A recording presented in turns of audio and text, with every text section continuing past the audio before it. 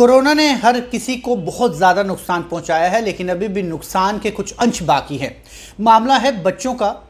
वो अभिभावक जिनके बच्चे 2019 में नर्सरी में एडमिशन करवाना चाहते थे, लेकिन अब तक कोरोना पैंडमिक की वजह से, स्कूल ना खुलने की वजह से वो असमंजसता में है। कि आखिर वो क्या करे? क्या वो दो साल उनके बच्चों के व्यर्थ हो जाएँगे? या उन्हें वो दो साल जो है वो किसी तरह से स्कूल में एडमिशन होकर उनके वो दो साल जो है वो रिकवर किए जाएँगे? क्योंकि अब जो बच्चा ढाई या तीन साल में नर्सरी में जाना चाहता था, वो अब करीब पाँच साल का हो चुका होगा। तो ऐसे में क्या कुछ सोल्यूशन उनके पास है? किस तरह से उन, उनका ये जो समस्या है उसे दूर की जा सकती है? इसी विषय पर मेरे साथ मौजूद है प्राइवेट स्कूल एसोसिएशन के प्रधान दीपक दीपक हांडा जी।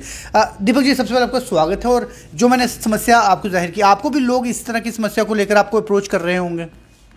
अमित जी पहले तो आपको नमस्कार और आपके चैनल को नमस्कार। जी। आपने जो ये पॉइंट उठाया है this is a very valid point school किसके लिए होता है? स्कूल एक ऐसी चीज़ है जिससे एक बच्चे की पर्सनैलिटी डेवलप होती है उसकी ग्रोथ होती है। ही कम्स टू नोज़ के मेरे साथ मेरे फेलो स्टूडेंट्स क्या कर रहे हैं? मुझे कैसे उठना है? मुझे कैसे बैठना है? मुझे कैसे खाना है मुझे कैसे बात करनी है। जब बच्चा स्कूल ही नहीं आएगा जिस बच्चे ने अपनी क्लास में नर्सरी में आके 20 से 25 बच्चों के साथ रोज़ इंटरेक्शन करनी है वो बच्चा अकेला अपने घर में बैठ के क्या करेगा? हालाँकि इस पैंडमिक में बच्चे स्कूल नहीं आ रहे लेकिन ना मैं बल्कि हमारे पूरे वर्ल्ड में जितने प्राइवेट स्कूल्स हैं या गवर्नमेंट स्कूल्स हैं उनके टीचर्स ने उनकी एडमिनिस्ट्रेशंस ने कोई भी कोताही नहीं छोड़ बरती कि जिससे वो बच्चों को डेवलप करवा सकें उनका ग्रोथ में कोई प्रॉब्लम आए। अब मैं आपको जैसे एक एग्जांपल देता हूँ कि नर्सरी क्लास का जो बच्चा है उसको ऑनलाइन का मतलब ही नहीं पता। बिल्कुल नहीं।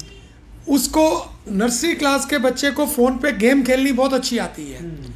अब हम स्कूल वालों ने जो मीटिंग्स की पीछे हमने जो अपनी एक प्लानिंग की उसमें हमने यही किया कि जो नर्सरी लोअर के जी अपर के जी के बच्चे हैं उनको हम टीचिंग इस प्रकार से फ़ोन्स पे या टैब्स पे ऑनलाइन करवाएँ जिससे उनको लगे कि वो एक गेम खेल रहे हैं। हालाँकि ये एक बहुत ही मुश्किल और चैलेंजिंग जॉब था स्टाफ और एडमिनिस्ट्रेशन के लिए बट इस पैंडमिक ने बहुत से लोगों को बहुत से रास्ते दिखाए हैं। उस हिसाब से हम लोग भी ट्राई कर रहे हैं कि हम बच्चों को कुछ ना कुछ कुछ ना कुछ एक्स्ट्रा दे सकें। जैसे कि आपने बात की एडमिशन्स की।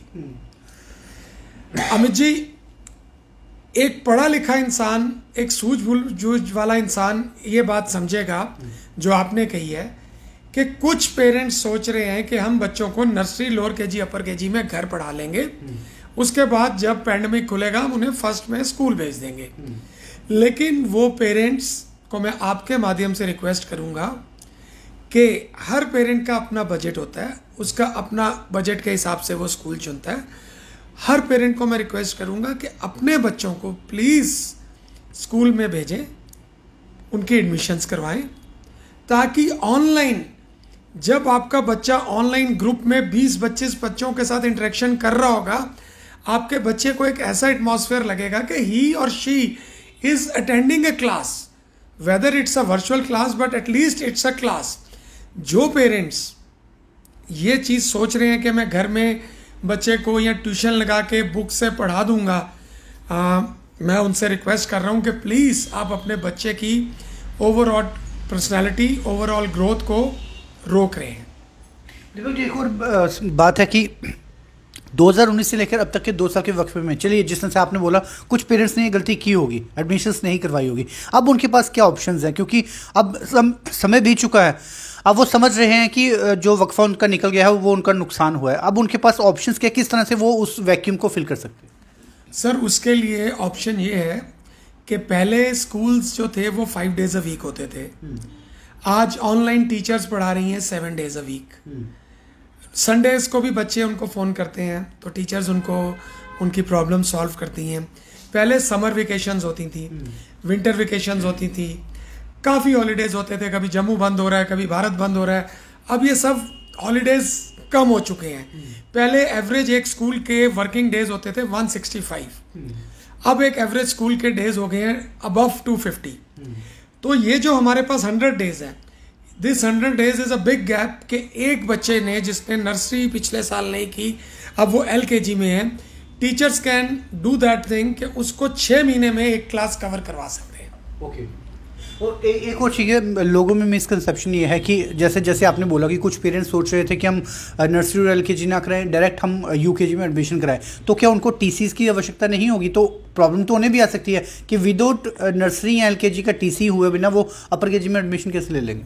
आ, सर हमारे एजुकेशन डिपार्टमेंट की जो गाइडलाइंस हैं उसमें बच्चे को फ़र्स्ट क्लास में डेट ऑफ़ बर्थ सर्टिफिकेट चाहिए होता है म्यूनसिपैलिटी का।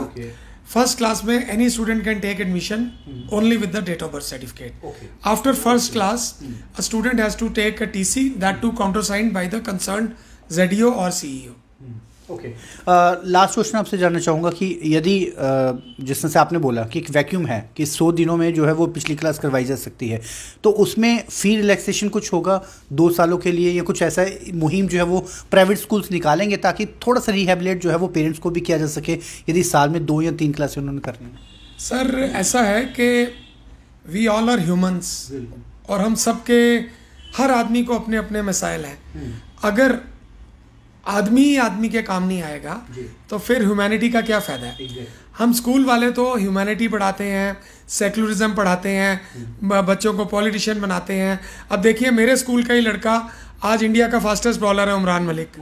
वो मेरे से पढ़ा है। अब ये हम लोग अगर एक दूसरे के साथ तालमेल नहीं करेंगे आपकी बात से मैं बिल्कुल सहमत हूँ। हम्म। ये सब चीज़ें ऑन द टेबल होती हैं। हम्म। हर हर हमारी एक प्राइवेट स्कूल्स की मीटिंग हुई। उसमें हमने डिसाइड किया कि genuine problem of the parent would be solve by a school amicably देखो कोई हम लोग हिटलर्स नहीं है। hmm. हमने इसी माशरे में रहना है। hmm. हमने इन्हीं लोगों के साथ उठना बैठना है। hmm. सुख दुख में हमने साथ चलना है। अगर हम इस टाइम अपने भाइयों का साथ नहीं देंगे तो फिर मैं समझता हूँ कि हमें इंसानियत का गला घोटना है। बहुत बहुत शुक्रिया देवर थैंक यू बहुत बड़ी बात दीपक जी ने कही है कि वी आर ह्यूमंस यदि पैंडेमिक ने हमें दो कदम पीछे कर दिया है तो उसमें अब जो पेरेंट्स ये समझ रहे हैं कि दो साल उनके बच्चों के वेस्ट हो चुके हैं और उसे वो किसी तरह से उस वैक्यूम को फिल करना चाहते हैं तो एक कदम पेरेंट्स यदि आगे, आगे बढ़ाएँगे तो एक कदम जो है स्कूल वाले भी बैकफुट पे आकर उनका समर्थन करेंगे उनको सपोर्ट करेंगे ताकि उनके बच्चों के बहुमूल्य दो साल व्यर्थ ना हो सके। आप जुड़ रहे न्यूज़ के साथ।